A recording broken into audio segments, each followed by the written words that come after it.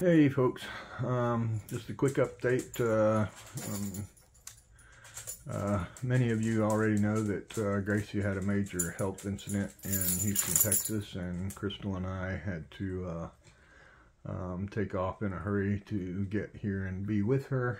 Um, uh, she uh, she's getting better. She's coming um, out of it now, and still got a little procedure or a couple procedures to go. Um, but we almost lost her. And, uh, oh, yeah. Um,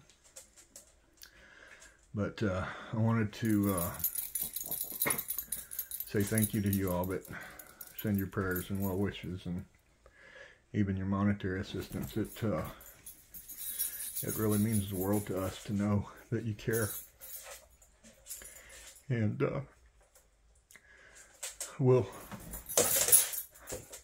we'll keep uh, keep you updated.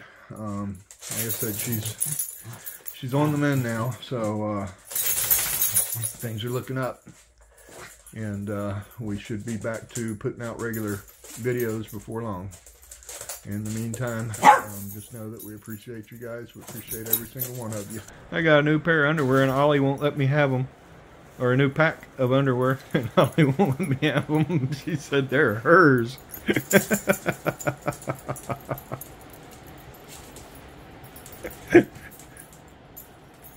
Howdy, folks.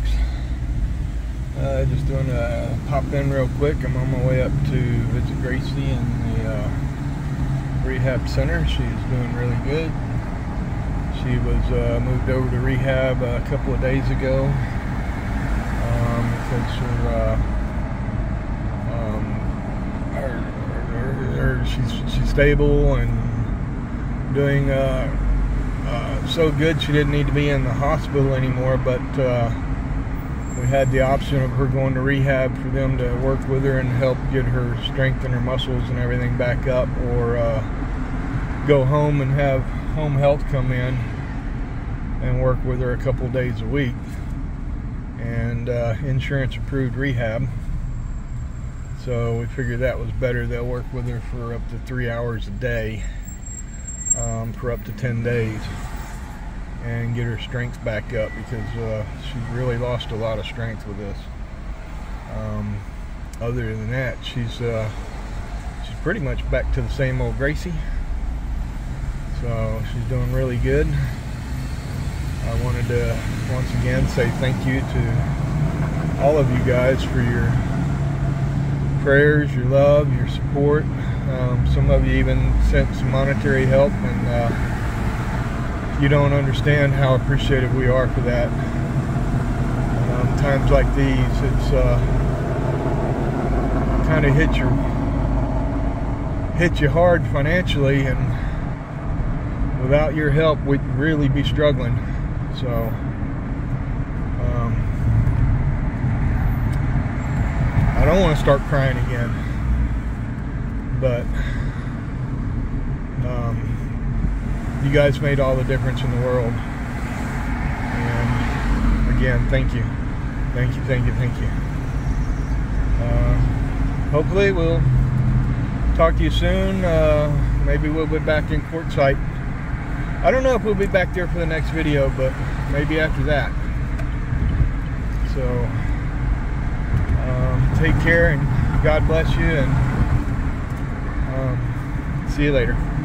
And if you notice, uh, the windows are down because um, the AC quit working in this car. Uh, above 70% humidity in the mid to upper 80s. And no air conditioner here in Houston. Ooh, it's hot. Yeah, it's hot.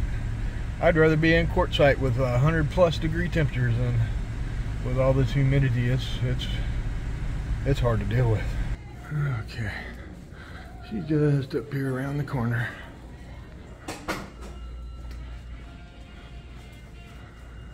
I don't know about you, but I do not like hospitals.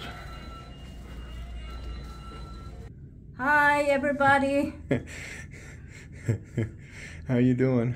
I'm doing pretty good. I'm ready to go home. Doctor said in about five to seven days, I'm on my way home. I had a good visit with uh, Gracie and had dinner with her and uh, uh, stopped by. Well, earlier today I checked the um, the fuses and uh, everything and verified that the compressor on this air conditioner was running. Um, just wasn't blowing cold air; it was blowing hot air.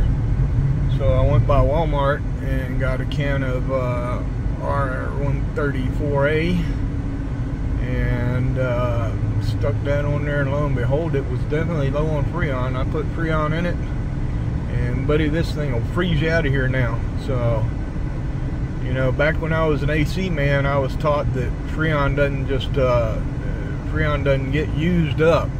So if uh, if you're low on Freon chances are you got a leak.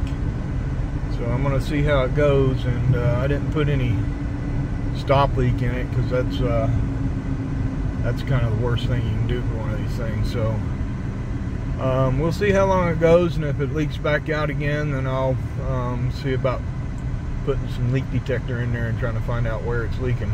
It might just be the seals in the compressor itself are getting old.